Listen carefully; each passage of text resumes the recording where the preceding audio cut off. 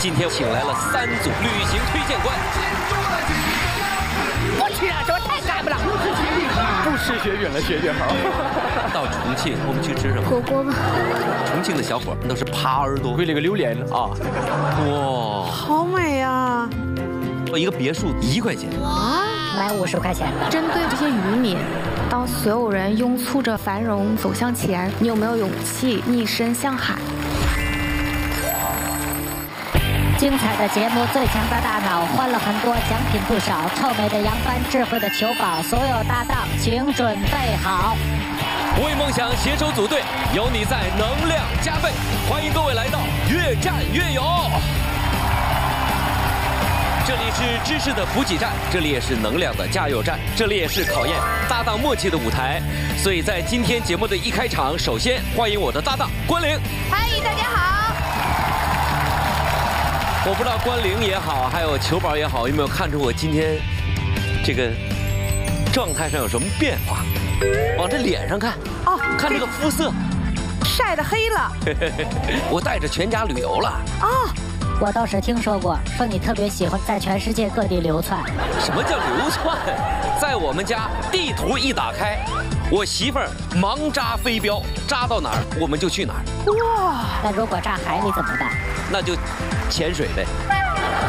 你比如说，这回我媳妇儿飞镖一扎，我们去了埃及。哇！原来你去埃及是你媳妇儿用飞镖扎的。哎，没错。而且去年我媳妇儿这飞镖一扎，你看我又扎到哪儿了？原图啊，沈阳故宫。哦，还真是深一脚浅一脚的。这不是每个家庭忙碌了一年，都希望有一个属于家庭集体出游的时刻嘛？我也特别希望通过我旅游打卡的照片呢，给大家做一下旅行推荐官。但是如果大家觉得我还不够专业，今天我请来了三组特别适合做推荐官的朋友来我们的现场，给我们做一下攻略，好不好？好。接下来让我们首先有请第一组旅行推荐官闪亮登场。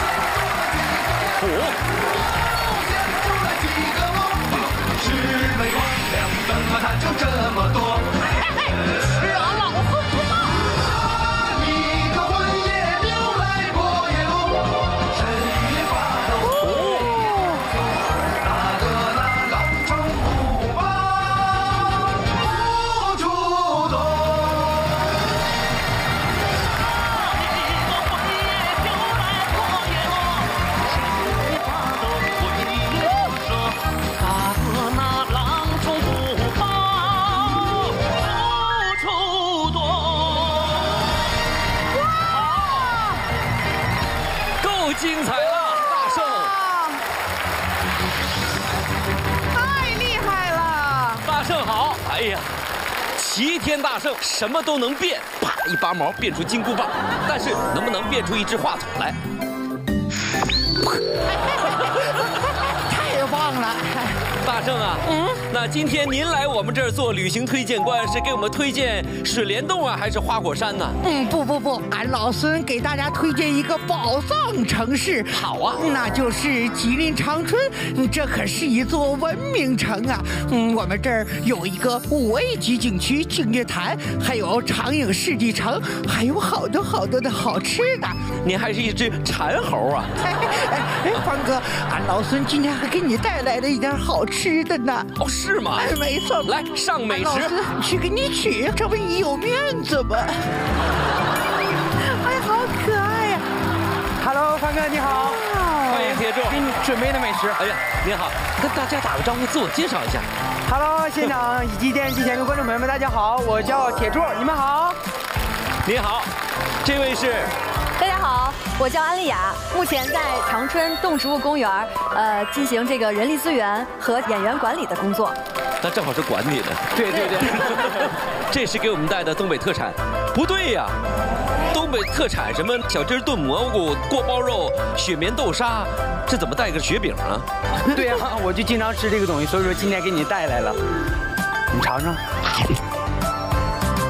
来，高林老师，哎，那我也吃点，尝尝尝尝。大圣啊，嗯，你那天上就吃这个呀？对，好多游客过来观看我的时候，总给我拿这个东西吃。所以这也是你名字的由来，对不对？对对对，也就是在咱们长春的一个景区，铁柱扮演的齐天大圣，被很多游客亲切的称为“雪饼猴”。对，因为开始根本没有游客上来投喂，我们公司老总就给我准备的水果，后来水果也吃没了，后来准备香蕉，香蕉也烂了，嗯，啊，就发现这个容易保存。对，就剩雪饼了。那天的时候我就吃的有点多了，大概我吃了能有十袋雪饼，一袋雪饼里边呢是两片装的，我也就大概吃了能有二十多片。后来我给我吃急眼了，当时我就说了一句经典的台词，我说不吃了，这玩意太干巴了。啊，游客拍下来之后就当成金句了，发到网上。完了，得到大家这么多的关注，所以大家记住了，这个猴叫雪饼猴，不吃雪饼了，雪饼猴。啥呀？又是雪饼了。以后啊，谁带雪饼了，屋都不来让他进来，就搁那给我拦着。这行，如今吃完雪饼还脑子，哎呦，还有串儿，对，啥都有。那也不错嘞。还得小孩给我一嘴巴子，说是挑食。现在据说好多游客专门会到长春去看你的表演。对，嗯，好多游客都从嗯祖国各地给我带来吃的。我现在吃的东西特别杂，就每天我大概得吃好几十种，还要确保每一个游客给你拿来的东西你都要吃一口。如果不吃谁的，好像有点不给面子。像咱都是东北的，那不给人家话掉地上，人家拿的东西给人面子不就绝了吗？啊，对呀，所以说他拿过来我就得吃一口，拿过来就吃一口。说这天天吃，以后这个大师兄就演不了了，演 二师兄了，得演二师兄了。对，给你投喂过的，你觉得最奇怪的食物，你还有印象吗？最奇怪的食物就是唐僧肉、猪爪子。那个师傅的肉吃了，二师兄的猪蹄子也吃了，二月二猪脑子也吃了。我 所以我说师徒四人怎么就剩你一个了？对，都让我吃了。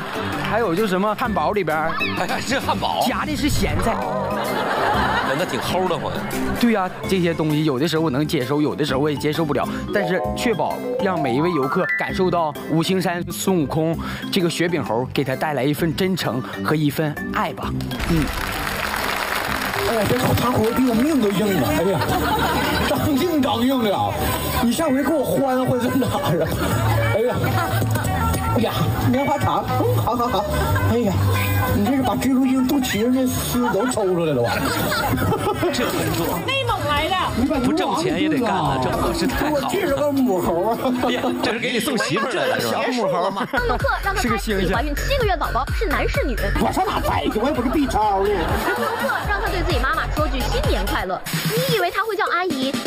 妈，新年快乐！当游客说专程从澳大利亚过来看他。哦，对呀。啊，这个厉害了！从澳大利亚来，刚看完袋鼠就来看猴。对对。我以前想象哈，可能喜欢这个孙悟空小朋友会居多，但我看刚才拍视频对话的，好像大朋友小朋友都有。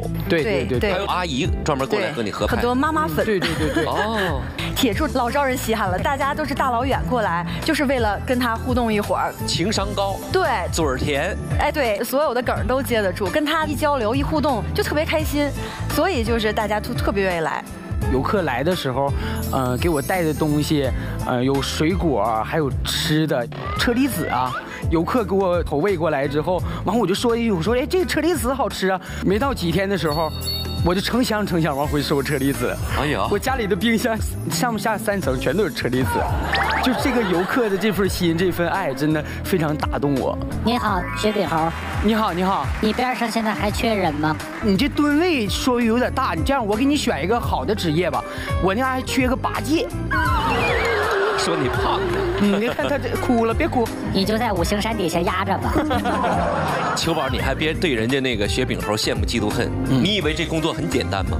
天天趴着，而且吉林要到冬天的时候天还挺冷的呢。嗯，如果是在镜头外面，我们只看到脸露出来了，后面是什么造型？其实真正我们是还原那个压五行山下的时候，孙悟空就是这个姿势，就还得露一只胳膊，这样对，还得露一胳膊，还能接受游客的东西，往怀里抱。主要是方便往里边搂。也就是说，一天你是趴着吃东西吗？对呀。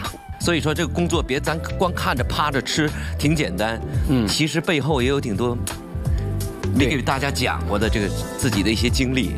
呃，比如说今天趴完这一场的时候，第二场再趴的时候，我的肚子就特别疼，嗯，因为吃的东西特别杂，嗯，每天吃十几种，就过我嘴的糖得有十块。他们有人说啊，你可得注意点，别得糖尿病。我说你放心，我一定会多注意的。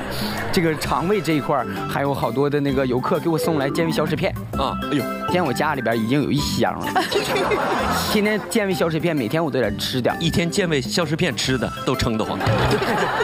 再一个，这个保暖的这个问题，咱们那个景区冬天的时候温度大概是最低能到多少度？啊，最低是零下二十多度。对，零下二十多度户外表演，里边有什么暖宝暖气吗？嗯，对，园区的领导给我准备了，呃，底下有电褥子，还有两层被，完了给我买了一个大睡袋，把我整个人像像裹蚕蛹一样，给我裹裹里边，后面放到睡袋里面是吗？他钻到一个睡袋里就露个脑袋和手，那脸冻的我觉得都得流鼻涕。嗯，对，我戴着面具，好几次那个一擤鼻涕的时候，我扎回家行李去了，我就忘了，我说我鼻子在里边呢，完了我还得去处理。所以大家要看到啊，你们喜欢的这个雪饼猴啊，其实他工作起来幕后还有很多不为人知的、挺不容易的一面。对对。铁柱就只负责扮演孙悟空，对吗？对对对对。没考虑挑战挑战其他的角色吗？我觉得我这个个头，杨二郎谁也不太合适。我觉得你有点谦虚了，只是没给你那个机会。要不然咱们掌声让铁柱给我们来个小展示。来一段模仿秀吧。啊，嗯，模仿一个师徒四人，完了他们的所有的声音的转换。悟空。给为师化些斋饭来。哦嗨，师傅，这荒山野岭的，去哪儿化斋呀？哦，嘿嘿，嗯，你好你个呆子，俺老孙能上天能入地，能下海能着火，哪儿都能去。那快给为师化些来。好，厉害啊！等会儿，师徒四人，沙僧呢？沙僧只负责一句话：大师兄。师傅又让妖怪抓走了，就这一句话。他很厉害啊，就是在表演的时候还是蛮专业的。以前是学过表演，学过戏曲吗？嗯，对我大学学的是舞蹈专业。嗯，我小的时候，嗯，学的是东北二人转。后来，嗯，我排了一出大型的集剧，叫《真假孙悟空》，积累了很多经验吧，也为我现在演孙悟空这个角色奠定了很大的基础。啊，嗯，铁柱呢，他其实不是一夜成名啊。小的时候，其实我们吉林当地呢，就有很多人都认识他，因为他获得。过东三省二人转总冠军啊，特别的出色啊。后来呢，因为家庭呢出现了一些变故啊，对他个人其实打击是非常大的。我小的时候，我的爸爸特别喜欢东北二人转，把我送到了呃我们当地的一个二人转班里边。嗯，在我比赛前十天的时候，我的父亲就去世了。我这辈子最大的遗憾就是，嗯，他没有看我站在舞台上看我表演。现在家里边就剩我和我的爷爷，嗯，在一起生活。我爷爷身体也不咋好，心脏上面长个一个粘液瘤。完，我把我二人转得的那些奖品全都卖了，呃，把他病给治了，也算是替我爸爸完成了一个心愿吧。铁柱这个孩子呢，非常的坚强。嗯，非常的努力，认真的念书，后来考上了吉林艺术学院。那去年十二月份，我正好去他们学校招聘，可以说是双向奔赴，刚好我需要，正好他优秀 然后就把他招聘到我们长春动植物公园。目前呢，他呢白天他还去这个教艺考生专业课，然后下午呢就来我们园里演美猴王，非常非常努力。谢谢谢谢。铁柱能有今天还真的挺不容易，是一个逆袭的励志少年。我相信你的爸爸、你的家人也不会想到有一天他的孩子可以成为有那么多人喜欢的一个演员。嗯，所以现在有这个能力、有这个机会为家乡做点贡献，嗯，那就把这份工作做好。明白。我现在的梦想就是通过孙悟空这个角色，让更多的人了解我自己的家乡，知道有一个大美长春，知道五行山下有一个雪饼猴王铁柱在这儿，我一直在。欢迎各位来到我的大美家乡吉林长春，感受吉林长春的风土人情，感受我们长春的热情和真诚。谢谢各位。铁柱会在长春等着您，带着雪饼来看他。还是雪饼啊！希望大家呢给他带点这个易消化啊，不要太难嚼的东西啊，要不然他这一天吃太多也受不了。谢谢关云老师，谢谢老师。好，谢谢。在这个原著当中，齐天大圣是无所不能啊。嗯，但今天得在我们越战越勇的现场来检验一下咱们大圣的成色。成色。今天和这个姐姐来配合一下，看看能不能在今天实现最多的梦想。准备好了吗？准备好了，准备好了。来吧，接下来打卡我们的越战越勇，欢迎你们来到第一关，各个击破。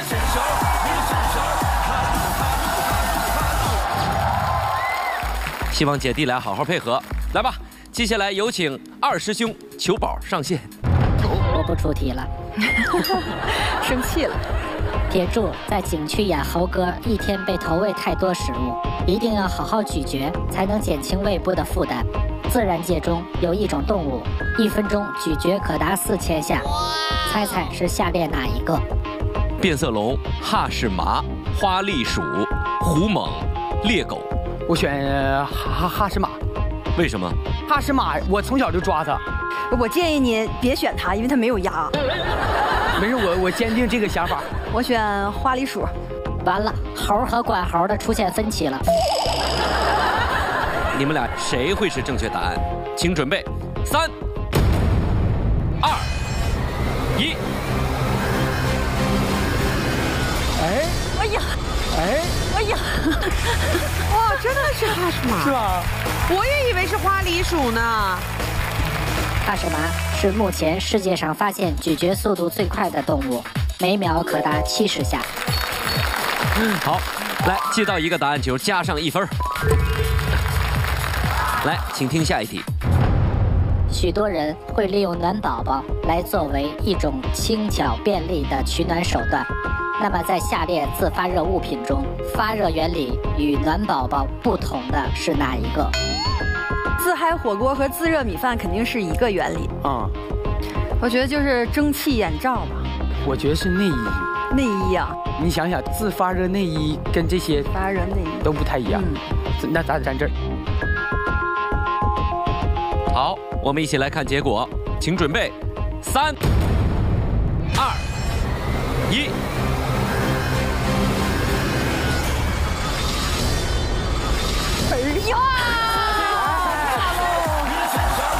姐姐也可以，接住了，终于接住了。大姐这还有优势呢，这大长腿往前一迈，个高。姐弟俩都分别接到了球，来加上两分。秋宝解释一下，暖宝宝的发热原理是铁粉氧化过程中的放热现象。而自发热内衣则是特殊纤维吸湿升温的现象。雪饼猴肯定特别了解这事儿，因为他为了保暖，应该是什么办法都想了。对，这些东西基本都用过。身上穿的是加热内衣，对对对，眼睛上戴的是蒸汽眼罩，旁边放的是自嗨锅，就为了能够保暖啊。你想呀，在长春冬天零下二十多度啊，我们的演员户外工作真的还蛮辛苦。好，请听下一题。孙悟空练就了火眼金睛，眼睛是视觉器官，也是最重要的信息获取器官。请问，下列哪个生物主要是依靠眼睛来感知的呢？哪个？我觉得只有三或者是五。蝙蝠应该是靠耳耳朵声呐啊，对。根据蝙蝠发明的雷达嘛。蛇呢？蛇不也有眼睛吗？蛇是靠地面震动。嗯，我相信它的知识面。确定了，来看结果，请准备，三、二、一。哎呀！哎呀！接到了，接到一个答案球，加上一分。好。蝙蝠是通过耳朵接收反射回来的声波来获取信息，响尾蛇和鼹鼠都是依靠嗅觉完成感知，电鳗则依赖电流获取信息。只有鸡是用眼睛看。嗯，加上这一分，现在你们四个答案球哈，再接到一个可以进入第二轮，加油！来，请听下一题。在《西游记》中，唐僧为孙悟空接取符咒之前，孙悟空已经被压在五行山下五百年了。那么，请问，孙悟空与唐僧相遇时，孙悟空大概多少岁？哎呦我的妈！哎呀，你要考虑你表演时候的年龄感。我压那儿的时候是多少岁？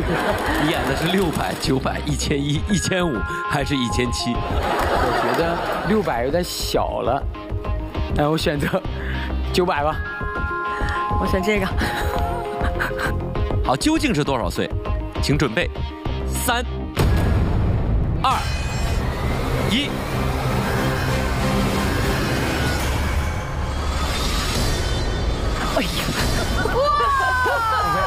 哇！接住了。大圣就是大圣啊！一个箭步，直接抓住了。一千一百岁，一千一百岁，有那么大岁数吗？秋宝，在《西游记》中，孙悟空大闹地府时，生死簿上记载寿数三百四十二岁，之后又下界上天庭两百余年，这就五百多岁了。再加上压在五行山下的五百年，共计大约一千一百年。好，所以正确答案一千一，接到一个答案球，再加一分。哇哦！来，请听第五题。在我国古代，年龄不用具体的数字体现，而是使用其他的称谓来指代，如人生七十古来稀。那么一百岁用哪个称谓指代？花甲是多少？六十六十啊。耄耋呢？八十，八十哈。七十是古稀嘛？剩下这几个就不太常见了哈。垂髫、七夷、台背。就是我建议你站这儿，然后这三个就都能接到。行，站这儿吧。好，七一是正确答案吗？我们一起来看结果，请准备，三、二、一。哎呦！没接到，还多接到一个答案球。来，我们先加上一分。秋宝给我们介绍一下哈，垂髫指的是多大年纪？三四岁至八九岁的儿童。台背指的是九十岁的老龄老人。九十岁啊，那就是耄耋，之后就是台背，然后是七姨。我们来回头看一下你们的最终成绩，恭喜你们获得了六分，进入第二轮，也欢迎你们来到奖品追逐战。咱们先看看这个六个球哈，啊，在台上的什么位置？啊啊，这是他们的分布情况。嗯，每答对一道题可以往前走一步。明白。如果走到这个礼物盒上面，这道题答对了，这个礼物就可以带回家。嗯然后在第二现场为三组选手准备了大约二十个礼物的一个礼物山，明白。看哪一组能够拿走最多的礼物。如果你们可以打通关的话，还有电视、冰箱、洗衣机三样家用电器在等着你们。准备好了吗？准备好了。一百八十秒倒计时开始。请问，号称世界第一运动的体育项目是哪个项目？足球。正确。牛郎织女的神话故事和中国的哪个传统节日有关？七夕。正确。命运交响曲是哪位著名音乐家的作品？命运交响曲。约翰施特劳斯。错误。贝多芬。正确。哎呀，快走。自然景观丰富的墨脱县位于我国哪个少数民族自治区？西藏。请问，我国春秋时期哪位先贤发现了小孔成像原理？小孔成像。小孔成像。不行就过。过。墨子。啊。化妆品上的 UVA 和 UVB 都是哪种光线的种类？紫外线。正确。篮球比赛中的双能卫指的是球员可以兼任得分后卫和哪个位置？控球后卫。正确。被称为欧亚大陆中心点的是我国新疆的哪座城市？乌鲁木齐。正确。四十二章经是金庸先生哪本小说中众人争夺的宝贝？四十二章经，《天龙八部》错误，《射雕英雄传错误，过吧。《鹿鼎记》。》啊，安徒生的故乡被称为童话王国的是哪个国家？正确。只因未到伤心处的上一句是什么？男儿有泪不轻弹，正确。中国第一座专业足球场虹口足球场位于哪个城市？虹口、上海正确。桑葚、蓝莓这些紫色食物都富含有哪种有助于保护视力的物质？花青素，正确。请问，电影《长空之王》讲述的是我国空军中哪个特殊人群的故事？飞行员错误，嗯回来。过，是飞员。阿姆斯特丹是哪个欧洲国家的首都？阿姆斯特丹回来。正确。请问，落霞与孤鹜齐飞，秋水共长天一色是王勃在哪座名楼上观看到的景色？滕王阁。正确。宠物荷兰猪的学名叫什么？豚鼠，正确。可以可以可以，太厉害了！在最后半秒钟还答出一道题，然后你们最终的成绩是第十三格，然后可以带走五份礼物，来，耶！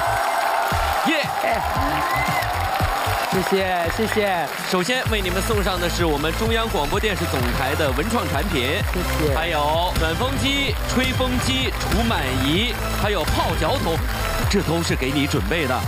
今天通过你们第二轮的表现，很有可能成为今天的冠军搭档啊！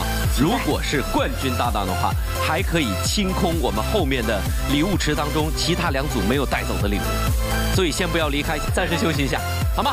好的，谢谢再次感谢谢谢汪梁老师，老师，谢谢。祝贺祝贺！挑战继续，这里是越战越勇。接下来我们又会到哪座城市来打卡呢？让我们有请今天的第二队旅行推荐官，有请。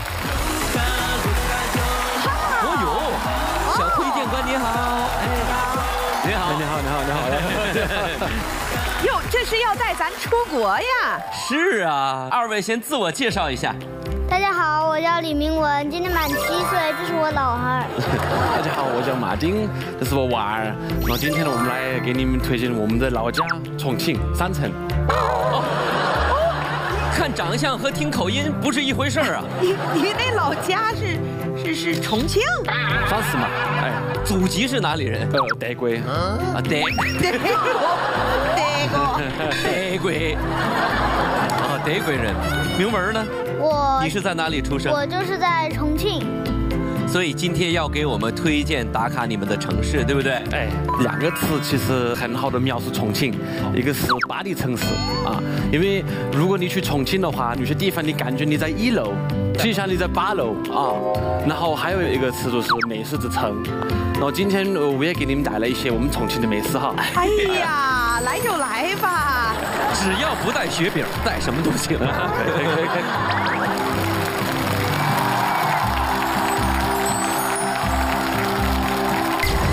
哇，来吧，玲儿，别客气了。哎呀，这这就等着你叫我上来呢，我替大家尝尝去。哎呀，这 是重庆小面这是我豌杂面哈。啊，豌杂面。对哦，还有火锅底料，还有麻花，还有冰粉儿。粉哎，这两个都是辣的。对我个人很喜欢豌豆啊，因为它又爬又又软，跟那个欧洲的肉酱面差不多。哦对，所以我很喜欢。您说的是意大利肉酱面，哎咱们这就是豌杂肉酱面。你这一口可真不小，嗯，是是吃，没让你都吃光。是是啊，我还以为这碗就是我的呢。关键还有别的，你得替我们观众尝一尝啊。嗯，这这给我留着啊，我录完像接着吃。冠玲姐姐，哎哎，你太适合去长春了。铁柱，您后继有人了。重庆小麻花，哟，真脆。冰粉儿应该是咱们重庆非常受欢迎的甜品。甜品对品，就所有游客来重庆，他们一定会吃这个。嗯，可以，特别像我当时在重庆吃的那个味儿，就是这个味儿。其实好多游客啊，选择到哪个城市去旅行，风光是参考的一部分，美食也是非常重要的一个部分。嗯很多人喜欢去重庆啊，喜欢去成都啊，跟当地的美食是分不开的，这个重庆就一说，好像就开始分泌唾液。是一个让你提起来容易流口水的城市。当然，其实要说到重庆最具代表性的美食，应该是火锅。对重庆的火锅，是吧？嗯火锅儿，火锅儿。所以这是给谢谢关玲姐姐带来的底料哈。谢谢谢谢。你涮什么都行。哎，涮所有。你看你这这外国朋友太客气了，这这带的也太多了吧？怎么能叫外国朋友呢？现在是咱们重庆女婿啊，啊，谢谢谢谢。哎呀，那那杨帆这份我就也拿走了。孩子给的。好，谢谢谢谢谢谢。那我们留下啊，哦晚晚啊上给带走啊我还想边吃边看呢。好，谢谢谢谢。谢谢谢谢二位给我们带来的家乡美食啊！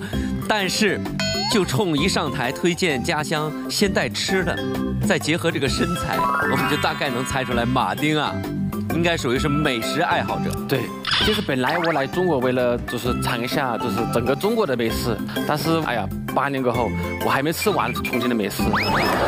但是重庆，比如川渝地区，它的美食特点就是辣。对呀、但是德餐，我个人觉得就是和东北的一些美食还是有点接近的。酸菜是吧？对。那你是怎么一下能够接受吃这么辣的？因为他小时候就喜欢吃辣。哦，他在小时候就不是一个合格的德国人。不是，他儿子说的特别像他小时候他就认识他。我再确认一下，你们俩谁是谁爸爸？对，我的老婆也会这样说，谁是爸爸？哎，那你可以吃辣吗？我可以，小朋友可以理解哈，因为他出生在重庆。那你这个语言天赋可以啊，还好。你是在德国的时候就会讲一点点中文，还是到中国了之后才学会的？我在德国和英国学了一点点，然后在北京也学了一点点，但是其实我到重庆才学了很多。很多人觉得是因为我我的老婆是重庆的，但其实不是，因为我上了一个很出名的大学，我不知道你知道哪个大学，我们可能是同学啊，社社会大学，知道吗？社会大学，他还会抖包袱。所有人都在社会大学上学习哈。对，因为通过聊天、上出租车、什么逛街呀，而且重庆很热情嘛，所以可以很快就学。今天能不能现场也教我们几句比较纯正的重庆话？啊，可以。来来来，我们关凌老师啊，这个语言天赋啊，和别人不一样，学两句重庆话好不哎好？，特别想跟您，哎，你说我找一德国人学重庆话，几句有特色的、哎好玩的那个嘎啊，嘎，嘎比如说那个妹儿有点乖哟，嘎，就是是不是啊？啊，是不是的意思？哎嘎，对，哦，呃，嘎，怎么像要打架呀？嘎嘎嘎。这样，你教一句。老子数到三。老子数到三，是妈妈给他教的。看来 你经常惹你妈妈生气。我想知道三个数以后发生了什么。吓我一跳。尬，老子数到三。你怎么了？要不要跟他打一架？干哈？那是东北话。嘎嘎嘎嘎嘎，哎老子数到三，嘎。这句我们都学会了，这不利于家庭亲子关系啊！这个，哎呀，太可爱了，这个小朋友。关玲之前经常工作的原因去重庆吧？哎，没错，那个，比如我记得是叫洪崖洞，对，洪崖洞。啊，还有就是现在很多漂亮的那个打卡地，还有一个楼里边穿一个火车，哎，李子吧，哎，嗯，就是每次去的时候都感觉有好多好玩的地方，包括在郊区有一个火锅山。哦，对对对，专门吃火锅的，对对对。哦，我见过那个山，啊但是我没去过。你太厉害了，你还见过那个山？我现在想起来，在重庆都觉得特别好玩，感觉没玩够，放松，就很安逸，然后很巴适，是吧？对，嗯。那如果让马丁来总结的话，你现在生活在重庆这么久哈，你认为重庆最特别之处是什么？我觉得重庆是是一个非常快的一个城市，快的非常快，哎，和我们印象还不太一样。哦，是出租车，他们都叫黄色法拉利。哦，对对对，黄色法拉利开的速度很快，对你可能已经取了还没关了个门，它就开始开，对对。到地方是不是门找不着了？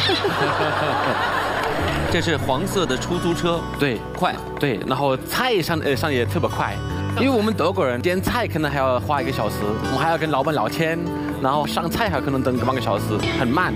在重庆，我感觉从进店到上菜就十分钟，哎，这说明效率很高，说明服务业很发达。对对对对对。还有一个事情就是重庆人很耿直，其实这个跟德国人很像，想什么他就说什么，很直是吧？对，很直。对。哎，但你从德国到重庆，你会有不习惯吗？因为重庆人一是他的性格，另外他的讲话口音都是很直的，对，有时候很硬，听起来有时候可能不理解，听不懂以为吵架呢，哥？对，因为很多人觉得呃德国人说话的时候就在那吵架，我们非常直接，所以我觉得重庆是一个非常舒服的城市，因为我可以直接跟人家聊，而且我去一个陌生的地方，人家请我吃饭呐，我不用花什么钱呐，非常热情。嗯，重庆的小伙一般都是耙耳朵啊，对，耙耳朵，不管是本地人还是外地人还是外国人，一到重庆就变成耙耳朵。真的，连外国人这也传染啊？对，呃，我发现在重庆他们很喜欢说一个字叫坦坦克哈。我本来以为坦克是这个战斗那个坦克哈，坦克以为是坦克呢。嗯，对，因为坦克很凶，有力量嘛，对吗？但是后面我发现不是，因为重庆话有一句话叫堂客，其实形容的是老婆的意思。所以他的意思怎么能管老婆叫坦克呢？对，后来发现家里这个坦克和坦克比起来，差不多，非常凶，非常有力量哈。作为一个外国人到中国生活之后，怎么理解重庆的耙耳朵这种文化呢？肯定要听话，对吧？而且不要回家，肯定不要太晚。比如说十点过后回家，那肯定要要要这个跪那个榴莲啊！你们有这个说法吗？跪榴莲啊！我们这边是跪键盘，是吧？还有我们有零花钱，重庆的男人一个月可能有五百块钱。零花钱。哎。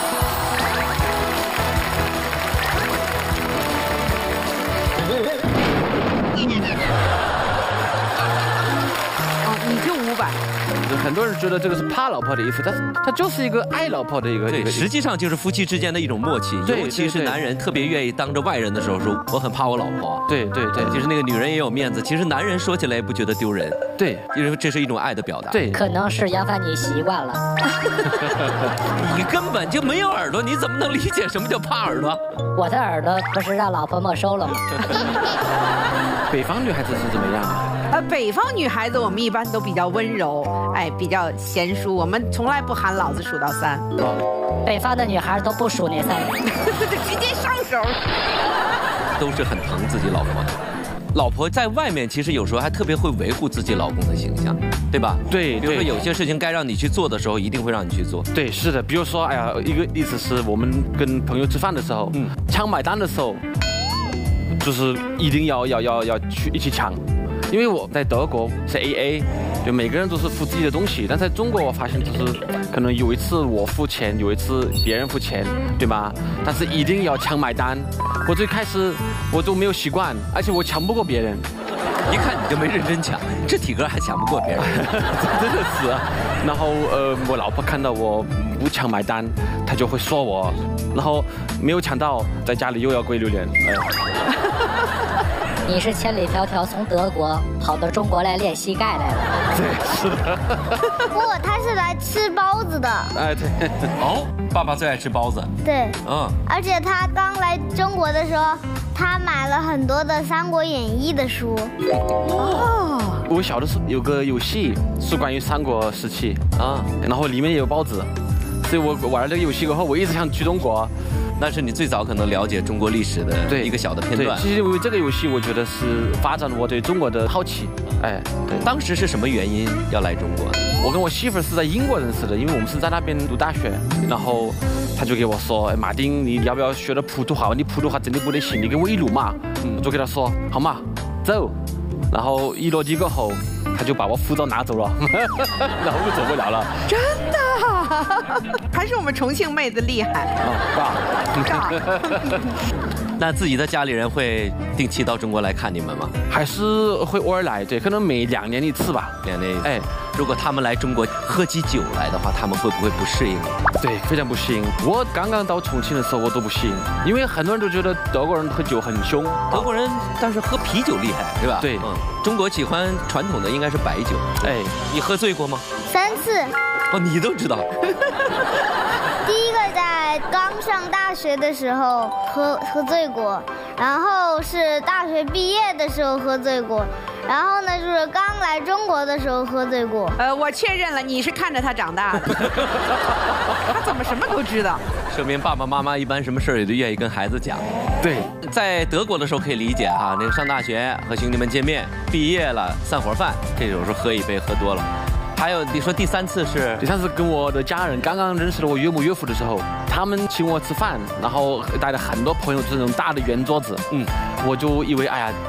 中国啤酒酒精没有那么高，所以我不用怕。然后我们就开始喝，然后我我学了那些中国的礼仪，比如说要走一圈，对吧？对，走一圈。哎，你喝的是啤酒还是白酒？都喝了，嗯，混着喝。然后我一直在找各种借口，说我要开车，他不说有代驾噻，对吧？因为我们走国外没有代驾嘛，我都不知道当时。对，没有借口了，只能喝了。对，真的，在中国喝酒一定要有策略，哎，比如说拿一些小杯子，少倒一点，对吧？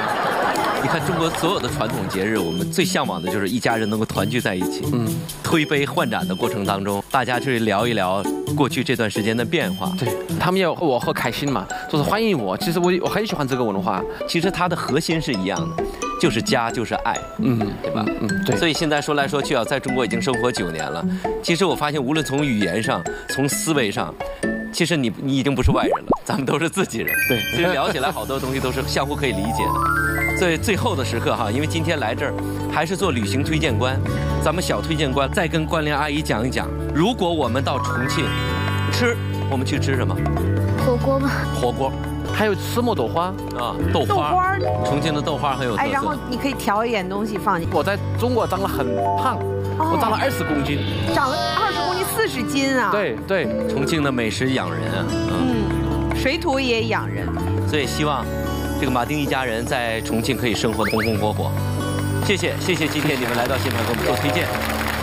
接下来我作为北京推荐官，推荐你们打卡第一个景点——越战越勇的第一关，来，各个击破。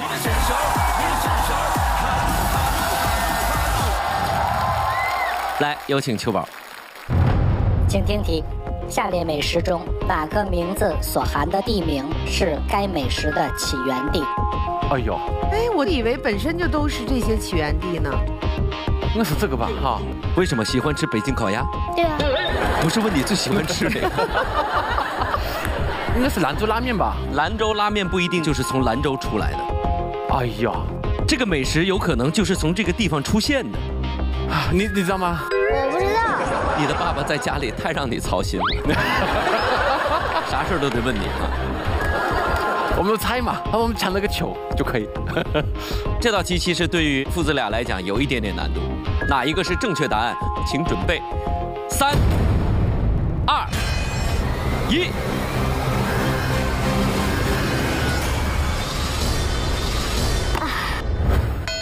哦，差一点点。将来能当一个很好的守门员，很棒很棒。这道题其实有点难度啊！安徽板面，安徽板面虽然被戏称为河北特产，但确实是安徽太和的美食啊。由于老爸接到了一个答案球，来给你们加上一分。再接再厉，小宝。川渝一带对土豆这一食材格外喜爱，下列名称中哪一个不是土豆？哎呦，地蛋、地勺、洋番芋，哎，洋番芋 跟我还有点渊源。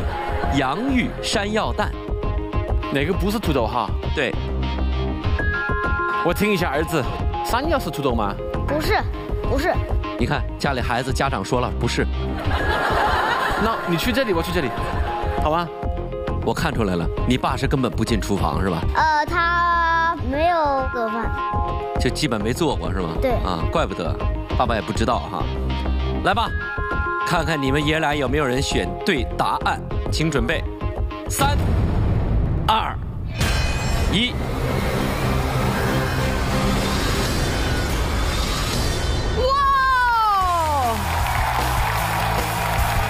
其实我们小宝贝儿啊，如果能够选对答案，他接球没问题，对吧？孩子现在学球啊，你擅长的是篮球、足球、足球。啊，怪不得你刚才跪的那么专业。好，给你加上一分。地勺又称红薯、甘薯等，被誉为长寿食品。地勺就是地瓜呀。请听下一题。下列哪种水果是最适合放进冰箱里保存的？我已经准备好了。是这个吗？啊，我听孩子。哇！你故意扔下来的？加上一分。以下哪种物品是最近一两百年才发明出现的？我知道了，你已经知道了哪个？就是那个纸。卫生纸。对。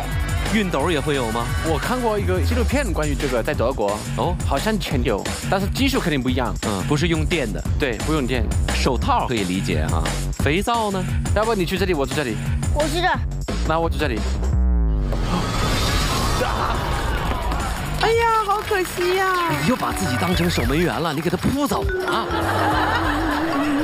肥皂出现于宋代，烤串和熨斗在汉代就已经出现了。手套更是在春秋时期就已经有了，而纸虽然发明的很早，但是卫生纸这种纸类直到十九世纪才出现。明白了，还有最后一题，现在需要你和爸爸一人接到一个球，才能得到五个，进入下一轮，好不好？加油好吗？给爸爸鼓励一下。加油！谢谢你哦。但是这道题可能要靠你。爸爸会写汉字吗？他不会。所以接下来你要告诉爸爸站在哪个答案，好吗？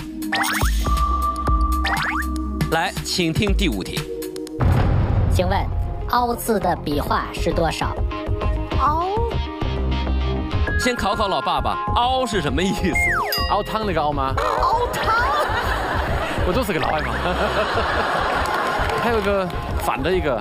这样是哎，对，哎，对对对，凹凸，凹凸啊，对，凹凸不平的凹。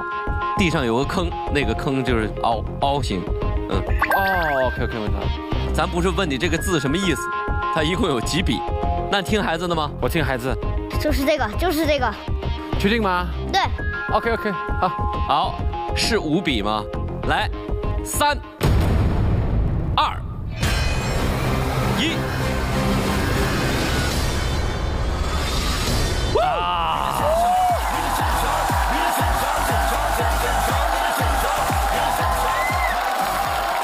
咱们玩的就是这个悬念，就是这个刺激，对不对？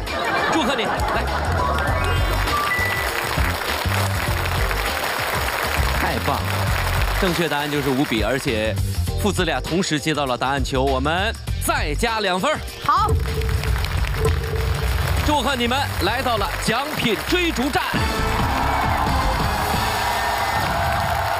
接下来我们看一下这五个球会在什么位置，还不错哈，变，现在他们变成礼物盒了哈。之前成绩是这里是第十三个，所以你和老爸回答问题如果能够超过这个来到这里，你们就成为领先者。来，和老爸去出发点。刚才我在那边。听到那个题，我和我爸一一个都不会。第一关选手那个题一道都不会是吗？我就在下台吧。试一试一万一能答对一道题了，好不好？来，一百八十秒倒计时开始。请问，一九九八年世界杯足球赛的冠军是哪个国家？知道，是法国。正确。我的妈！你看，这不就答对一个？请问。在古代被称为万岁爷的是什么人？呃，管谁叫万岁？过，皇上。请问，我们经常用辛勤的园丁赞美哪个职业？我们形容哪个职业是像辛勤的园丁一样？足球。错误。你心里只有足球。过，教师。请问，被称为液体面包的是哪种酒？啊，我知道，啤酒。正确。你看。爷俩都有强项。嗯，请问保龄球的球体上面有几个指洞？三呃三个。正确。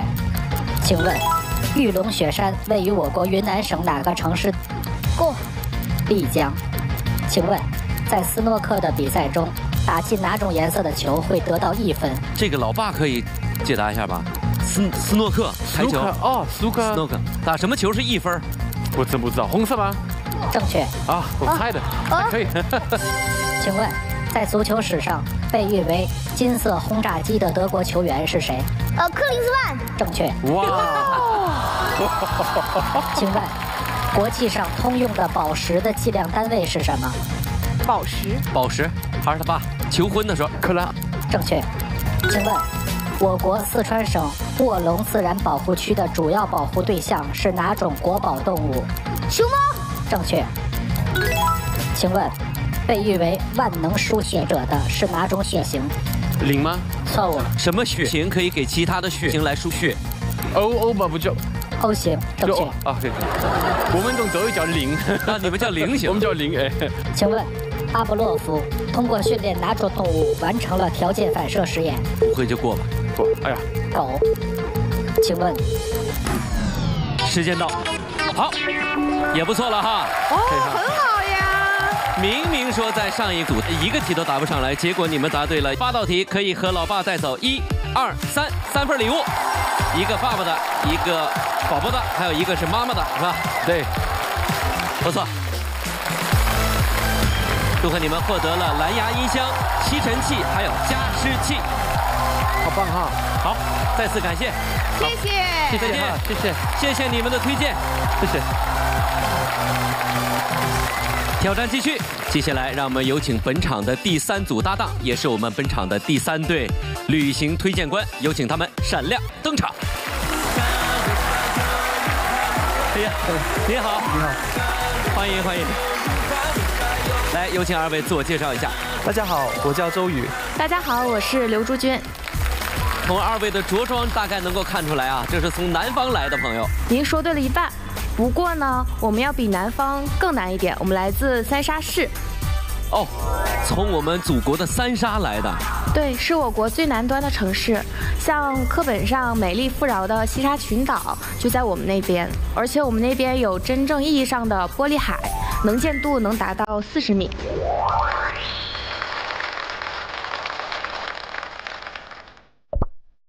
好美啊！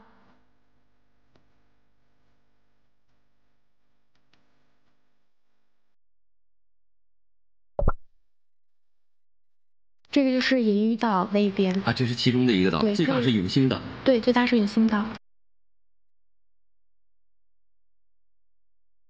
这几个岛之间是可以来回穿梭的吗？对，一般大家都是可以跳岛吗？对，你可以坐冲锋舟去。啊，太美了吧！好美啊！哇。好想去啊！好想去潜水哈！一看那个鱼，而且就是三沙是我们中国可以讲就是陆海面积最大的城市。对，三沙市的话呢，是我们国家呃面积最大的一个地级市。那它的陆海面积的话呢，相当于是三百个上海那么大。但是呢，我们的陆地面积却是最小的。呃，我们有二百八十个岛屿和沙洲，但是加起来呢，还不到一个乡镇那么大。然后现在最大的岛应该是永兴岛。对，永兴岛现在的话是五点一二平方公里。早上就围着那岛跑一圈，大概多长时间呢？跑一圈的话，大概是三十到四十五分钟。啊，就跑完了。四十五分钟跑一圈了。对，就跑完一圈了。上面有一所学校。对。一家医院。啊，一家医院。有超市吗？呃，有一个军粮供应所。啊。对，相当于一个小超市。对，很小的一个超市。还有什么其他的设施可以给我们介绍一下？还有运动馆哦，有一个运动场场馆。对，还有图书馆。嗯，然后就是一些室外的活动场所，比如说我们有室外露天的那种排球或者是羽毛球等等这些。好，那比如说那里上网的速度怎么样？五 G 没问题。有些啊，就三沙是普及五 G 的。对。麻雀虽小，五脏俱全。据说那上面还有电影院，对吗？对，上面还有电影院。比如说我们的春节，如果在岛上度过的话，那你就可以看到最新的春节档的电影和大片不行，春节档的不行，太贵了，电影票。但是在岛上这一部分就是可以免费啊。关玲，在三沙，你知道一个别墅多少钱吗？一块钱。啊？杨帆。我买五十块钱的，你先排队吧。嗯，真的那么便宜吗？嗯，说对了一半。准确的说，这一块钱是租一个别墅，不是买一个别墅。那租多长时间呢？一个月，而且它这个对象是有限制的。哦，什么限制？它主要是针对我们三沙永兴岛上的这些渔民，是国家给的福利的优惠待遇。像他们以前在岛上，这个住房可能是一些茅草房啊，或者是一些危房，那国家呢就出钱给他们盖这种独栋的小别墅，然后让他们居住。这一块钱就是象征性的收费，包括一些装修和他们的一些用具也都是免费提供的。大家是不是很羡慕？说到那儿住房租一个月才一块钱，而且说还有更诱人的呢，什么上学呀、去医院啊，免费。哇！但是前提条件，你得是在那里工作的渔民。对，渔民工作就蛮辛苦的，然后能够让他们就是在这个岛上生活，然后就是国家给提供了很多的优惠的福利政策，对吧？当然，这个三沙这个美景啊，图片也好，视频也好，很多朋友都看过，但是可能很多朋友未必了解。怎么能够到三沙上去？是坐飞机啊，还是坐船呢？啊，现在三沙部分的这个岛礁已经开放了旅游项目，那大家可以选择从凤凰岛出发，乘坐那个四天三晚的游轮，前往三沙的银屿岛、全富岛和鸭公岛进行旅游参观。刚才讲这些听着太诱人了，有那么得天独厚的自然的优势，那么美的风景。但是，如果长期生活在那儿，是不是也有一些不适应？你们在那边生活多久了？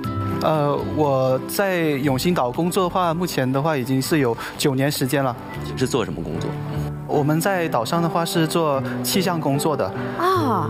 呃，我们一次上岛的话待够一个月以上啊，长的时候呢有待到三到四个月都有。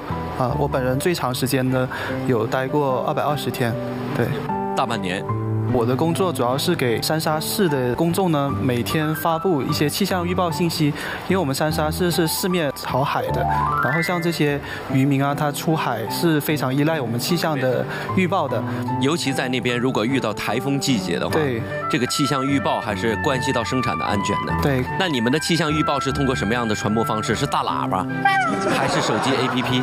我们现在气象预报宣传的话比较全面了，就是像微信、微博、电。是，还有这个政府网各种渠道。呃，如果是那个渔船的话，它在呃行驶到远海的地方，它可以通过短波电台就可以收听到我们的这个实时就可以播报给他。就是不管有没有手机信号，有没有互联网，它都会通过各种途径获取最新的这样的气象信息。就是基本上是全覆盖。所以你们俩是同事关系？对，我们同事关系。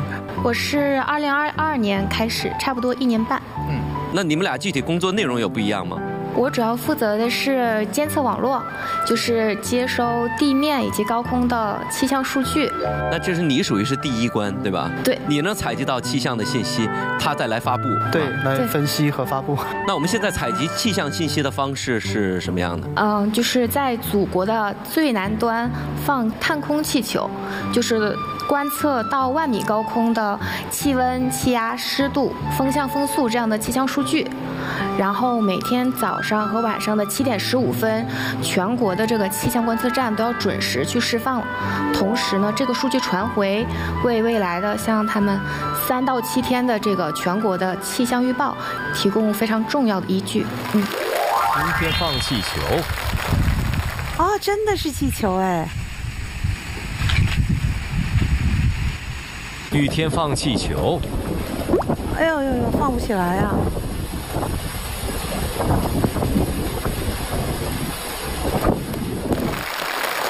哇哦，所以看到没有，甚至有点台风了。对，台风天。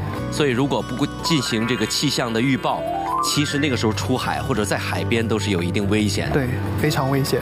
哎，真是不容易。每天新闻联播之后都会有一个天气预报，在天气预报结束以后会有几个特别的城市，其中就有三沙。对对。哦，原来就是这么出来的这个结果，这么不容易。所以。这段交流从最开始我们想象当中这个三沙的美好，羡慕着阳光沙滩，其实了解到具体其实工作在那里，如果是很长时间的话，对对对，其实也需要耐得住寂寞，也不是一切都是特别美好，对吧？是的。所以为什么会选择做这样的工作呢？为什么会去呢？我当时其实，在上大学的时候是读到了一句话，就是说，啊。当所有人拥簇着繁荣走向前，你有没有勇气逆身向海？然后正好有这样的一个岗位在招聘，然后我就从祖国的最北端通过公务员的考试，考到了三沙，我们祖国的最南端，你是哪里人？黑龙江。哇，哇，好远啊！对你每次回一趟老家也得一天吧？加上转机要七个小时的飞机，嗯，对那，全家想你怎么办？那么远，视频电话，只能视频电话。对，而且在那边工作和生活，其实也有想象不到的一些困难。刚才讲到了一些极端的天气，然后在那边要耐得住寂寞。嗯其实我们也可以想象，海上风浪非常大，一般人都会有很严重的晕船反应。对，像我可能就是平时很少去坐船嘛，加上平时的工作内容需要去海岛之间维护和维修，有时候这个船可能就要在海上漂泊五到七天，那个浪很大，然后你就会晕船。我那个时候就是捧着那个垃圾桶或者塑料袋，就是狂吐不止。然后呢，我就会跟我同事说，这个吐满了，再拿一个带过来。真不容易哈。而且有的时候换那个小的冲锋舟的时候，风浪比较大，那个船就会立起来。哦，就海盗船那感觉。对，就立起来。开船的人呢在你的上面，你是在船的下面，然后那个海水会从那个船舱漫进去一点。哎呀，那太吓人了！这些经历有跟家人分享过吗？没有，他们不知道。他们就是看，哎，怎么三四天不见，好像瘦了七八斤一样。我就说出去航行减了一趟肥。太不容易了。哎，但你比如说像年轻人在那边可以网购吗？可以网购。那我们如果要网购的话，我们的货物一般是随着那个补给物资的船，然后送上来。多久来一次？平均的话，一周会有一次。那还行。对，天气不好的时候，可能两到三周都有可能，所以我们一般中间就是那物流现在暂时失去联系，是不知卡到哪段海域上面了。哦，这样的。但有一样肯定没有，叫外卖应该没有啊。呃，对，岛上没有外卖。呃，其实我个人的话是一个吃货，所以我对于吃到新鲜的东西其实是非常渴望的。像那个在那儿不得天天吃鱼啊，天天海鲜刺身啊，大螃蟹。都吃腻了，人家 对，就想重庆火锅，要不然这个待会儿你带走。他不会让你白带走，他想跟你换点鱼。没问题。最奢侈的在那边是吃什么？像我们吃到新鲜的蔬菜就是最奢侈的。哦像我们那个菜啊，一般从地里摘下来到我们能吃到，那一般要经过十五天这样子。我们平常一般都是吃很多那个速冻食品，那速冻食品吃多了就容易肠胃不舒服。哎，那我吃不着豆角呢，我再考虑考虑。也没人邀请你。比如说我最开始上岛的时候，就会面临一个问题，就是每个女孩都希望有一场甜甜的恋爱。那我在岛上的话，可能就会有一定的困扰。有啥困扰？这旁边不有一个吗？我倒没有别的意思啊，咱就是聊到这个话题，顺其自然，水到渠成，就想问一问。周宇哥主动才行。哎呦，点你呢？周宇哥是啥想法？周宇现在是单身吗？啊，对我我单身。哦，是家里父母挺着急的。话都已经铺垫到这儿了。特别着急，你就应该拿出行动来。哎，除了不上传、不监测的时间，对也可以你们俩去不收费的电影院去看一看电影。咱们这外人就不瞎操心了啊。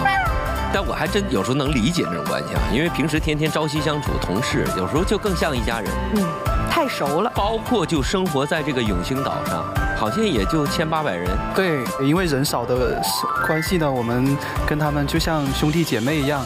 呃，我们会就是利用一些特殊的节日吧，去给这个渔民做一些科普宣传。然后这些渔民呢，也会叫我们去他们家吃饭。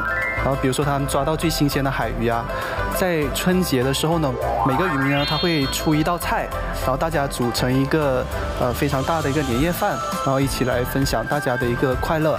除了台风天气外呢，我们岛上大部分时间还是呃风和日丽的。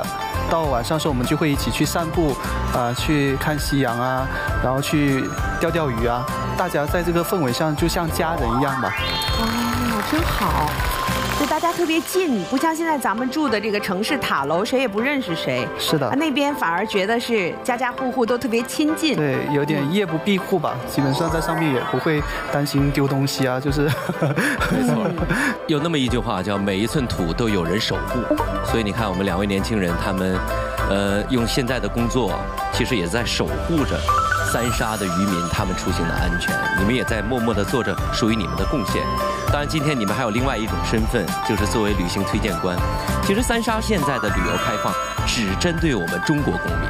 嗯，所以如果有这个时间的话，真的也欢迎大家到我们祖国的最南端去旅旅游，看我们的国旗高高飘扬。再次感谢二位，啊好，谢谢大家。这从大南方过来的到北方来哈，那不得给你们准备点礼物吗？但是得靠你们自己去赢，好吗？好，准备好了吗？准备好了。好了，来，欢迎你们来到第一关，各个击破。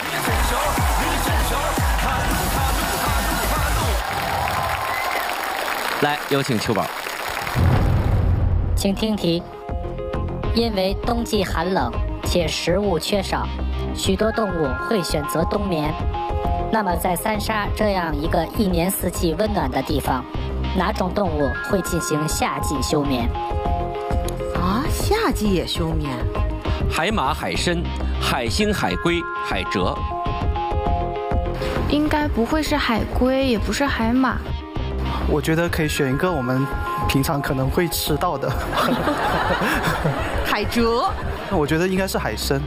夏季海水温度比较高，可能要适当的休息一下，才能够避免这个紫外线。那他涂点防晒不就完了？球宝真是个大聪明。就像我们人一样，在岛上中午的时候是不出去的，一般都是到太阳落下的时候吧。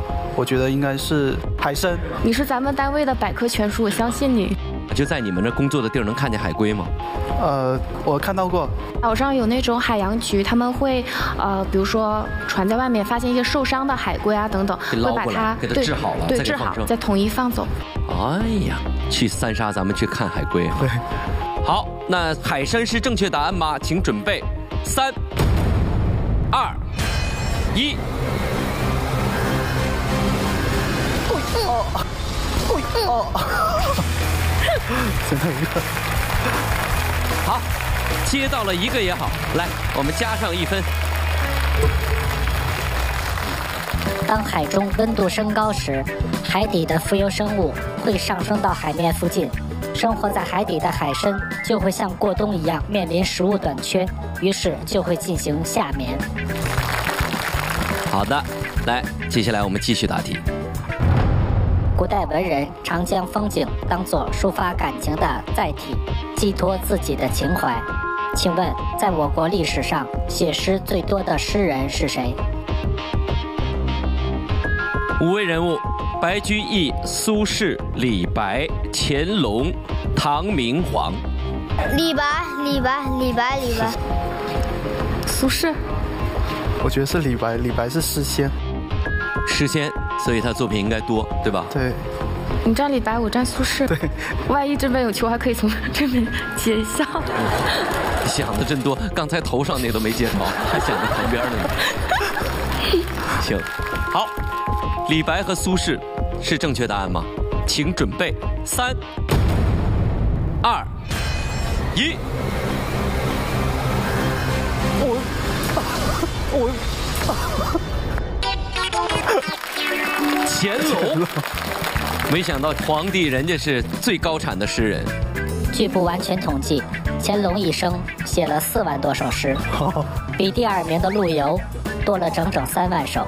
虽然乾隆写了这么多诗，但是能够流传于世的很少。很遗憾，没有答对问题，没有接到球不加分。请听下一题。在唐朝后宫佳丽三千，佳丽三千指多少人？我选三百。后宫三千形容很多，但是不会多到三百。我选一百吧。我改成一百。哦，对了哦。《旧唐书》中记载，皇帝的佳丽大概在一百人上下。再加一分，加油了！现在我们才两分哈，还得接到三个球呢。来，请听第四题。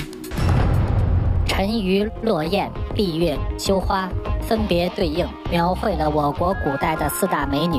请问陈馀指的是谁？杨玉环、貂蝉、昭君、西施、李师师。西施有那个她去河边洗衣服，哦，是西施洗衣服是吗？是河边浣纱，好像是她吧？好，西施是正确答案吗？请准备，三、二、一。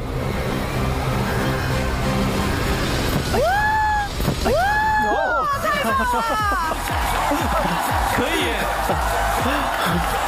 起死回生，这一下又有希望了哈！来，加上这两分。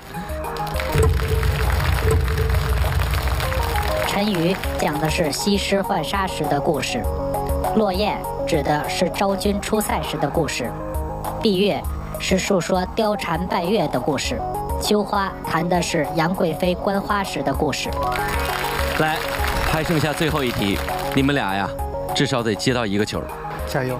请听题：观察下列五幅照片中的云，判断哪张代表的是天气最好的。这道题错了的话，你们俩就不用回三沙了啊！哎，像你们出海之前，假如说不用放气球啊，不通过其他的监测设备，就通过看云，真的就可以判断未来的天气吗？是的，观云十天的话呢，是我们古人一直延续到现在的一个智慧，就是通过这个云的一个形态呢，来判别我们未来的一个天气。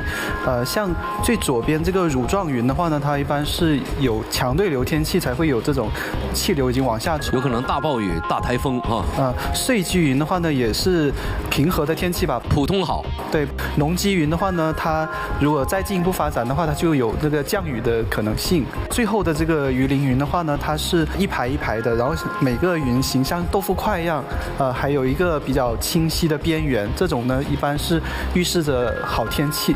啊，勾卷云也是好天气。呃，对。那最好的是鱼鳞云，是吧？对。好，专业知识输出，输出完之后一下错了。不能。好，请准备，三、二、一。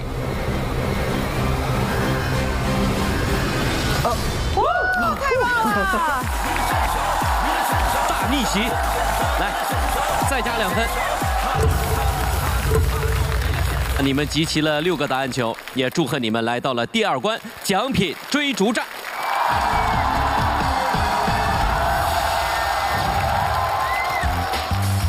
特别强调的是，第十三格是目前的记录，超过他，你们将会成为本场的冠军搭档，可以清空奖池当中其他两组没有带走的礼物。如果打通关，到最后还可以带走电视、冰箱、洗衣机。希望你们加油，好吗？来，一百八十秒倒计时开始。请问，我国经典动画电影《三个和尚》说的是三个和尚从事哪项劳动的故事？挑水。正确。请问，司马迁的名言“人固有一死，或重于泰山”的下一句是什么？红毛。正确。请问，《封神演义》中妲己是什么动物幻化成的妖精？白狐。正确。请问，东湖风景区位于湖北省的哪个城市？东湖。过。武汉。请问，帕斯卡是国际单位制中表示什么的基本单位？压强。正确。请问，比利时的安特卫普是世界最大的哪种宝石的加工和贸易中心？蓝宝石。错误。红宝石。错误。黄宝石。错误。钻石。正确。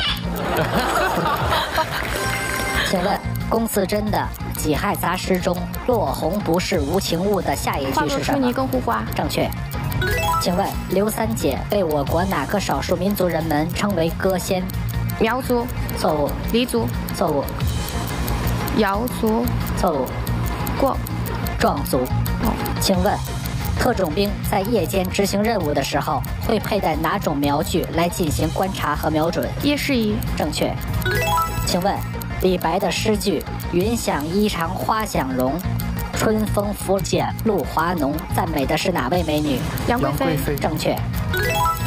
请问，哪种金属因为密度最小，常被制作电池？钠。错误。过。李。请问，蟠桃会是神话传说中庆祝哪位神仙诞辰的聚会？王母娘娘。娘娘。正确。请问京张铁路中的张指的是哪个城市？张家口。正确。请问《资治通鉴》和哪本史书并称为史学双璧？《史记》。正确。请问，被称为地球第三极的是我国的哪个高原？青藏高原。正确。请问，俗语“不是一家人”的下一句是什么？时间到。不进一家门。哎呀，也不错了哈。第十二个，来祝贺你们拿走了一二三四五五份礼物。哇！来祝贺你们获得了台灯、干衣机、筋膜枪、电饭锅和扫地机器人五份礼物。太好了，干衣机在那儿正好用。代表家人向你们问候，在祖国的最南端好好照顾自己，好不好？好。常跟家里联系，报平安，也祝你们工作顺利。再次感谢今天你们作为旅行推荐官来到我们现场，为我们带来的介绍，好吗？好，再见。好，再见。根据三组搭档在第二关当中的最终成绩，那今天的冠军搭档就是我们的第一组。让我们再次有请雪饼猴。来吧，冠军组合要清空我们今天除了你们拿走礼物之外，剩下的所有的礼物。哎，刚才你们拿了几个？我们刚才拿了，刚才就没少拿，差不多五份吧。哇，七加五等于十二，一共拿走十二份礼物，是不是？对对对。哇，太厉害了！这期节目当中，通过我们选手的介绍，也让我们对不同的城市有进一步的了解。希望本期节目为即将出行的你有一个最佳的推荐。那再次感谢今天我们的三组搭档，也谢谢现场以及电视机前的观众，更要谢谢我的老搭档关凌。这里是越战越勇，再见。